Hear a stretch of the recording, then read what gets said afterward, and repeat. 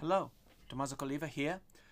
I've been making records for the last 20 years, and even though this makes me feel a little bit old, I've seen a lot of changes on how records are made. Today, we're gonna see few of these changes and how Antelope Gear helped me with some serious challenges. After my teenage years spending spent making beats on uh, an MPC in my bedroom, I cut my teeth uh, as an assistant and engineer at Officine Meccanica, that is uh, the biggest studio in northern Italy, if not the whole of Italy. Back in the days, they had four rooms there one with a 72 channels Neve, another one with a 24 channel Neve, one with a SSL 4000, uh, one with a quotator desk, and an insane collection of outboard gear 1176s, LA2As, Sontec EQs, uh, Neve Pre's, APIs, you mentioned they had it.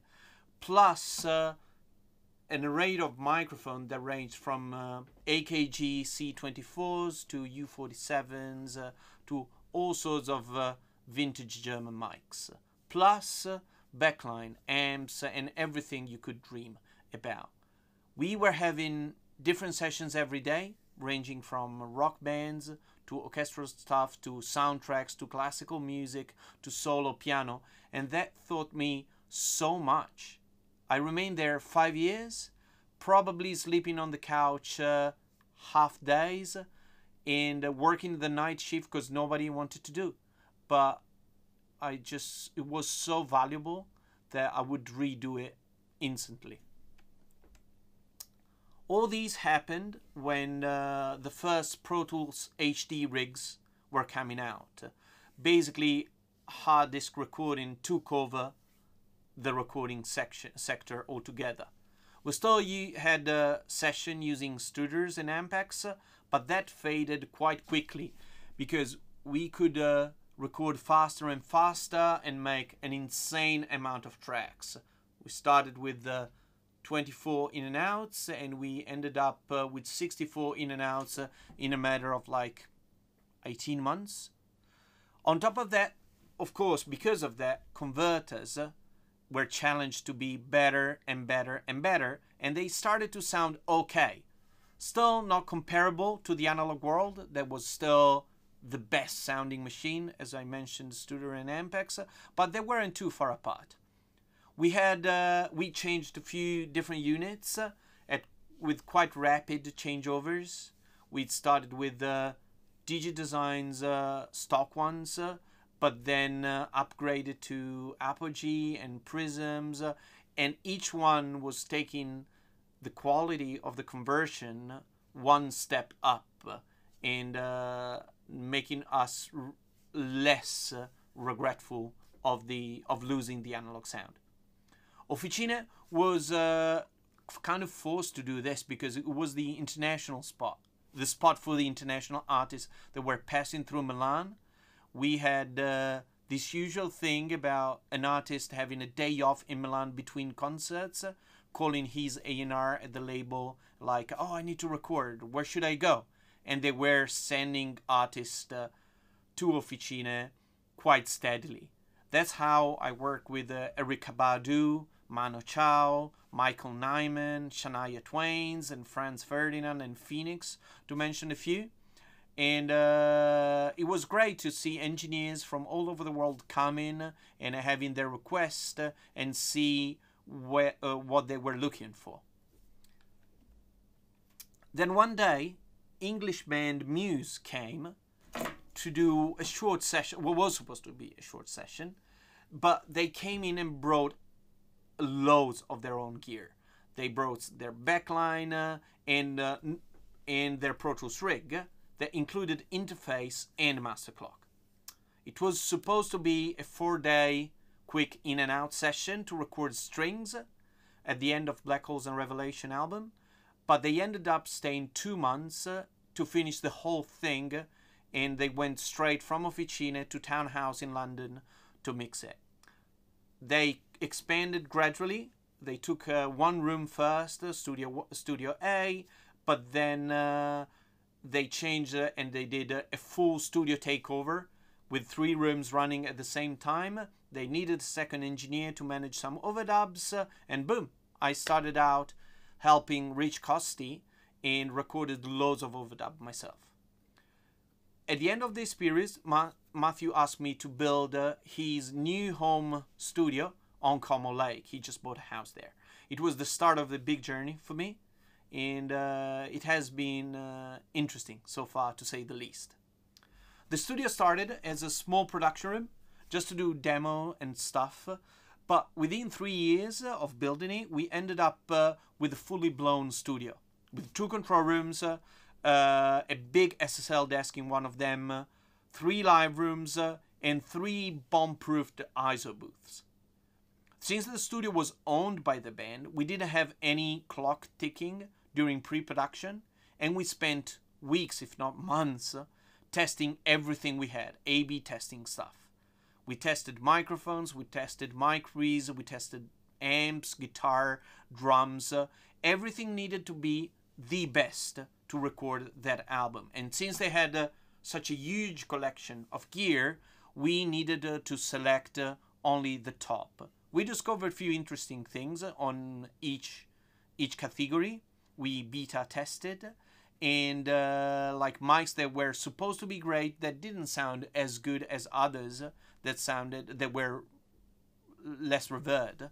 And the same thing with amps same thing with cabs so we kind of built our color palette during that period leading us to the proper recording period uh, and that's the period when uh, and where i encountered uh, antelope audio for the first time and I met them because they launched uh, the atomic clock on the market. There was, I think, it was their first product, and uh, it was supposed to be the best sounding master clock ever built. And I think they got quite a good pedigree to say that because Aardvark master clocks uh, were already the best ones uh, of the previous generation. We already had uh, a top spec Pro Tools rig but as with the rest of the studio, we wanted uh, only the absolute best available 2008 2009 uh, and so we just uh, we just called them we just called them uh, and asked uh, to to send down uh, a clock because we wanted to try we ordered one and what i did i remember setting the 10m and the OCX, one next to the other, next to the other two best clocks available at the time. Uh, and we performed uh, a quite a deep uh, A/B test on that as well. We were basically running uh, a 48 channel full mix on an SSL desk from Pro Tools via the interfaces that we were using um, and then the whole mix back into tools uh, via a really good stereo converter, clocking the thing every time with a different master clock. We basically were doing the whole round, re-recording into tools, use and only changing the master clock. After we performed these uh, three passes of uh, same mix with same converter, same everything, but different master clock. We shuffled, I shuffled files, and I uh, uh, I called a five uh, friend engineer to do some testing with me, including Giovanni Versari, that is the guy that later on mastered uh, Grammy-winning drones for us, and we were quite quite shocked by the results, because uh, uh, as with all blind tests, we just set up uh, the Pro Tools rig to output the three different files uh, on the console through three different external inputs. And uh, we were just switching between the three. And uh, with one of the master clocks, and I, I, I swear they were the best clocks available at the time, hands down one of them sounded uh, almost broken compared to the other ones. The highs were kind of distorted. Uh, there was no depth whatsoever on the on the stereo field uh, and were just like wrong. Uh, the other one, uh, the contender, so to say, to the Antelope, uh, that was our best uh, previous best choice, sounded fine, but it was uh, a little bit too aggressive and mid forward, and and most of it it was uh, it was so different than the mix coming out from the desk without without the other conversion. While with the atomic clock, everything was uh, super wide, both in the stereo field and uh, in depth and frequency wise, with an incredible detail on each transient. Even when uh, you had distorted transient, you could hear the distortion transient really fast and really crispy, but not hyped, not exaggerated in any way. It was true to the sound that we had from the desk.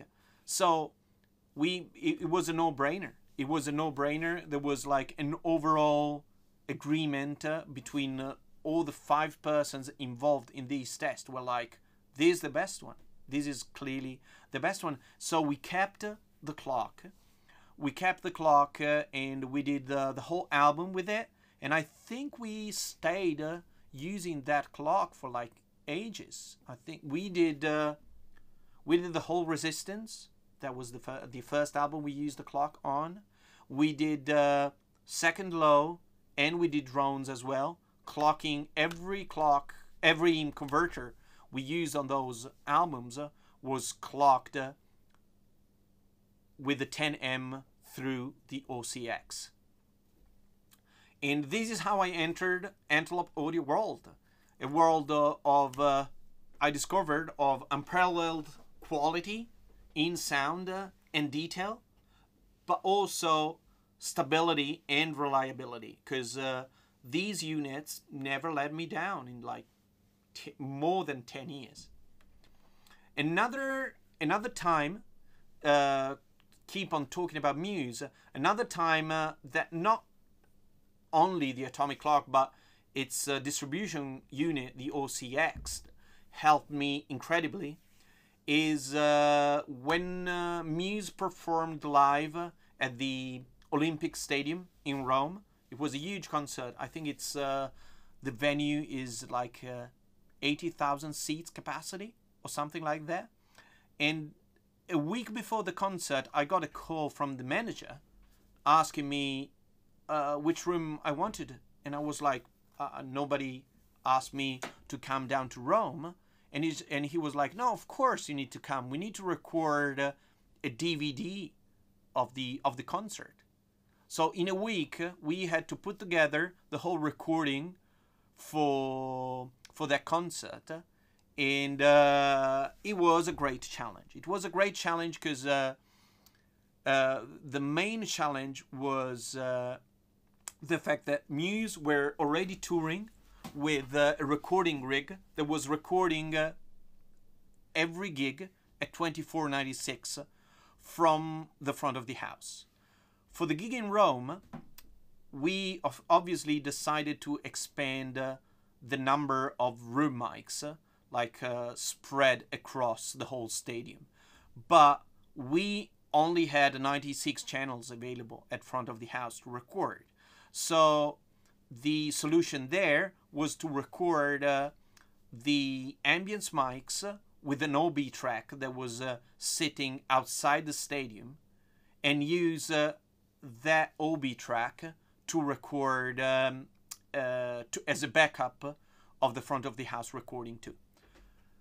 The thing was that the OB truck, the whole OB system, was uh, structured uh, around uh, 48 kilohertz because uh, that is the standard for broadcast. So they were using digital stage boxes, and uh, and that we couldn't change that. So we, th- we we thought, okay, that's fine for as a backup for our recording, but to allow stability and uh, interchangeability between files and to be able to sync like everything needed to be sync to be perfectly sync So solution and and obviously the recording rig at the front of the house was synced with the whole digital system used for the concert with the digital desk. So we definitely couldn't jeopardize uh, any of that. So the solution was to have uh, the 10M feeding the OCX. From the OCX, we had uh, two different clocks, one at 96 and the other one at uh, 48, going one the 96 one going to our main recording rig, and uh, the 48 kilohertz one going uh, to the OB truck via the digital stage boxes. Uh, that was very stressful night for me. One of the most stressful night ever. Because if the clock went down or if anything happened, uh, uh, the risk was to lose uh, such an important concert. That's why we had also a third 96 kilohertz recording rig, just to be sure. Uh, but I swear that a lot of my gray hairs belong to that night. So basically, Muse did an amazing three hours long concert. I can't. It was endless. They did this concert. I took files from the main Pro Tools rig. I took files uh, from the OB truck. I went to a small room, uh, uh, a temporary control room, so to say, that I set up uh, in the dressing rooms. I imported all files within the same Pro Tools session, upsampling 48 to 96, and uh, I synced the very first kick drum, like sample perfect, and I went all the way to the end of the concert, two hours and a half later, to the very last kick drum, and uh, they were sample perfect as well. So the clock stability throughout on both rigs uh, was just uh, amazing, was just incredible, and I I I didn't believe it was possible at the end at the end of that week. Uh, so it just uh, after that gig, as I already said, the Antelope 10M uh, and OCX combination traveled with me uh, kind of around the globe for like long time. we recorded uh, in New York, we recorded uh, in LA at East West, we recorded at Capitol, we recorded at Shangri-La, Rick Rubin's place, we recorded uh, at Woodshed in Malibu. Uh, we recorded uh, in Germany. We recorded in London at Air Studio, quite a quite loads of time, and uh, it was uh, always with us uh, and always delivering its stellar performance. and even though we changed converters because that side evolved a lot, we we were always happy about the master clock we had. So when a few years later, I was I moved to London. I moved to London and I needed a, an interface uh, because I was struggling with input and outputs on uh, my Pro Tools rig. They were not enough, never enough. I really always needed more and more inputs. And uh, Antelope released uh, an Ori- the Orion 32 HD interface that was a big game changer for me because uh, it, in just one unit, I could have 32 channels in and outs, analog, connected with simply one cable on my HD cards with no clocking between interface shenanigans. So if I needed to travel, I could do that with no master clock and just uh, having a very solid, uh, solid system, uh, just uh, connecting one cable bingo. I ordered one, and uh, with a 32 HD, I started recording 32 analog channel from uh, my studio desk, handling uh, all the monitoring need. I I can monitor from Pro Tools, I could monitor through a summing box, but at the same time, I can have uh, 60, 16 channels going uh, to any headphone system, Aviom uh, or Hearback or Midas, or whatever. And uh, I could still have 16 channels at my disposal for like anything, for monitoring, for reamping, uh, uh, or to do hardware inserts, or a summing box. Uh, and actually, that is uh, what the Orion 32 HD came very useful even at mixing stage after recording, because uh, at that point I could use the Orion the Orion 32 to do hardware inserts and to have hardware inserts permanently wired on my patch bay. So I had like the first 16 channels going to my summing box and the second 16 channels going to outboard that I was using all the time while mixing. Let me show you how now it's wired and uh, it's used over here. So that's how I use the Orion 32 HD these days, but let me show you how it's wired in the studio. We basically have uh, 32 channels from the live room coming here, going to my studio desk and my other preamps from the same patch bay, the output of the preamps and the desk going through the, two, the 32 HD. At the same time on the row below, we got 16 channels going to the summing mixer and 32 ch and 16 channels going um, to this uh, power play headphone system that is down here. And this allows every musician to tweak his own mix while recording especially when uh, we got different musicians recording together. That often happens uh, in uh, in this uh, in this studio. So when recording is finished uh, the good thing is uh, that I can use all my outboard gear for mixing along with my plugins simply patching to uh, to the interface. One thing that I loved doing this with the Orion is that I can um, I can calibrate each input and output uh, via the software. So if I have any any outboard any piece of gear that needs more input or less input, I can just uh, counterbalance the, the AD and the DA. But anyway, check this mix that I was working uh, um, last uh, last week. It's by a, a, Turkish band called Ringo Jets. They do garage rock and they're just drums, bass, guitar.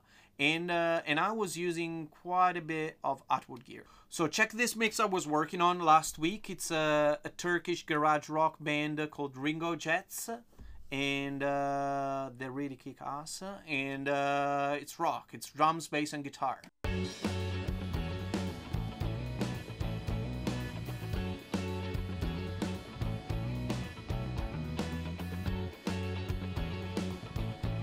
So on this mix, uh, uh, apart from uh, all the plugins that you see on my plugin slots, I'm also using few hardware inserts. The first one being uh, kick and snare. Kick and snare are going through this uh, Neve 33115 mic pre and EQs. Uh, and then uh, through this uh, Neve 33609 compressor. The bass uh, is going through this distressor uh, smashing it quite a bit, but also uh, giving it more saturation to the signal.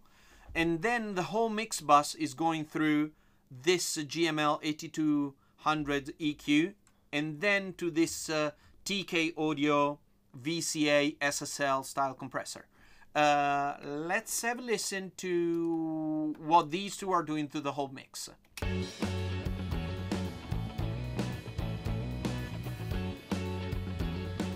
This is with the EQ and the compressor. And this without. But there's a little bit too much leverage. So this with the EQ and compressor. And this without. Make a huge difference to me. Uh, the same thing, uh, uh, it is true for kick and snare. Let's solo the drums.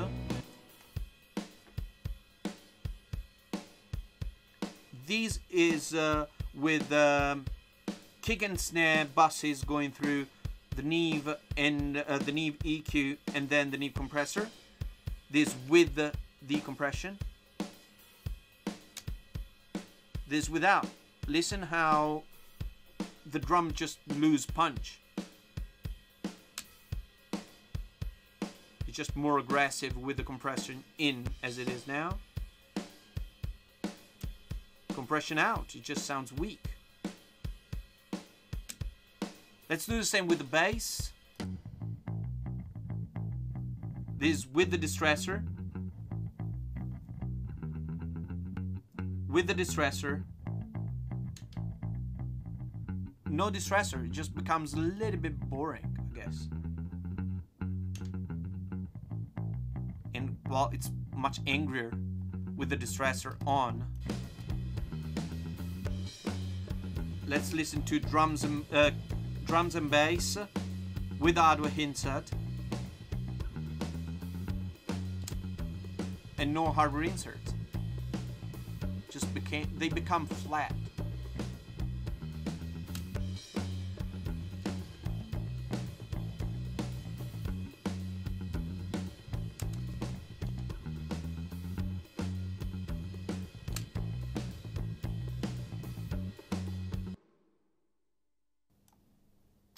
Uh, one thing that I didn't consider at the beginning when I bought the Orion uh, 32 HD is that they're having two different different way to connect to my computer.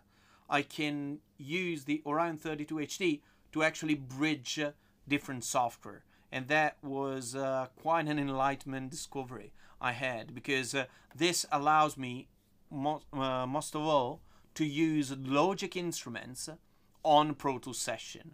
I frequently receive, uh, I'm Pro Tools based, but I frequently receive a, a demo done in Logic using Logic instruments. So these allow me to cross the two software. Let me show you how on the HD software, basically I've got uh, Pro Tools connected uh, on, of course, via the HDX card in Logic uh, set to use uh, on Logic preferences. You can see here, Logic preferences, audio is using the Orion HD3 USB.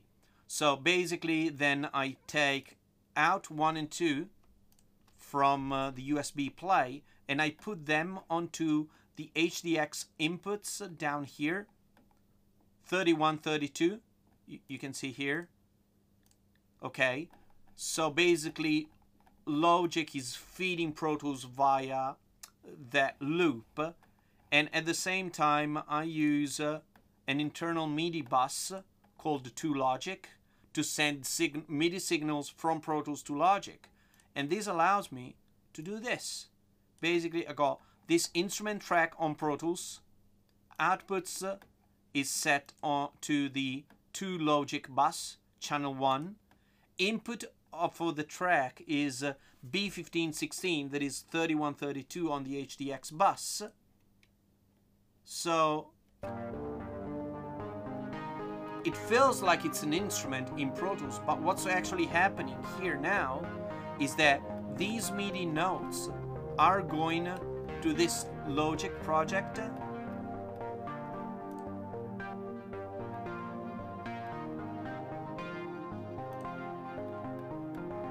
this Logic project uh, that is a very simple project, doesn't have anything. It only has one track that is on record to be able to monitor through. And what I'm doing is I'm using a plugin that the artist was using during pre-production within my production session. So if I want to, for example, tweak the sound, I can go and tweak distortion on the sound or take distortion out altogether. And it's perfectly in sync. This is just, it's such a simple thing, but it's mind-blowing how it allows me compatibility with what happened before a song reached me for full production stage because now I can actually keep all the sounds that are done within Logic or any other software during pre-production but still be able to tweak and mangle them and to tailor them to our final production. the other addition to the latest addition from Antelope World has been this uh, fully blown monitor controller called the Satori. I don't know how to pronounce that in English, but it has uh, an insane amount of inputs and outputs.